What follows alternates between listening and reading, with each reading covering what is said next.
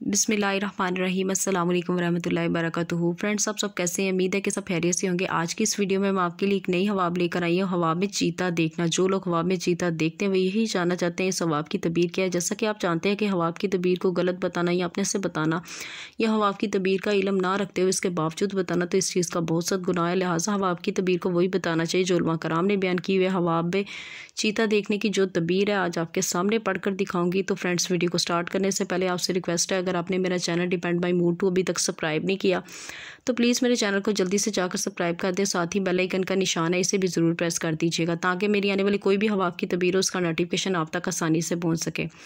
और फ्रेंड्स हम बढ़ते हैं आज की अपनी हवा की, जाने हवा में चीता देखने की क्या तबीर है।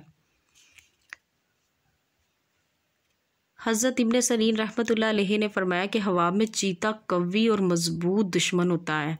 अगर कोई शख्स हवाब में देखे कि चीते के साथ जंग करता है तो दलील है कि अपने दुश्मन के साथ झगड़ा करेगा और दुश्मन पर गलबा और फतह होगी। यानी अगर चीता इस पर गालिब रहा तो दुश्मन गालिब होगा। अगर वो चीते पर गालिब आया और वो दुश्मन पर फतह याब होगा। अगर हवाब में देखे कि चीते का गोश्त खाया है तो दलील है कि जंग और झगड़ों में पड़ेगा, लेकिन आखिरकार फतह याब होगा और शर्फ व बुजुर्गी हासिल करेगा।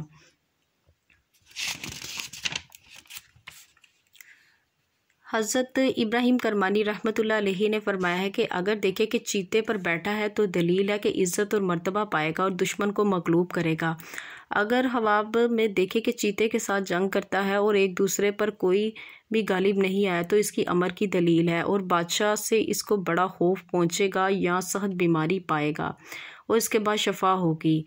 और अगर हवाब में देखे कि चीते, शेर चीते को खाता है तो दलील है कि इसको दुश्मन से खौफ पहुँचेगा और इसका नतीजा अमन होगा।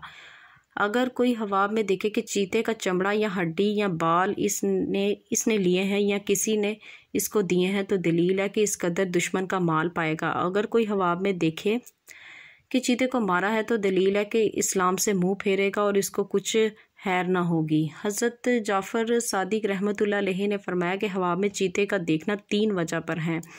नंबर एक, कवि दुश्मनी। नंबर दो, दुश्मन से माल पाना। और नंबर तीन, बादशाह का होफ फ्रेंड्स, आज की जो हवा की तबीयत थी, हवा में चीता देखना की जो तबीयत थी, यहाँ तक थी। अगर पढ़ते हुए किसी भी चीज़ की कहीं से भी कोई गलती हो गई है तो माफ़ी की मुस्तक हो। अपना बहुत ज़्यादा ख्याल रखिएगा, मुझे भी दुआओं में याद रखिएगा। इतनी देर के लिए मिलते हैं नेक्स्ट वीडियो में। नेक्स्ट रवाब के साथ। अल्लाह हाफिज़।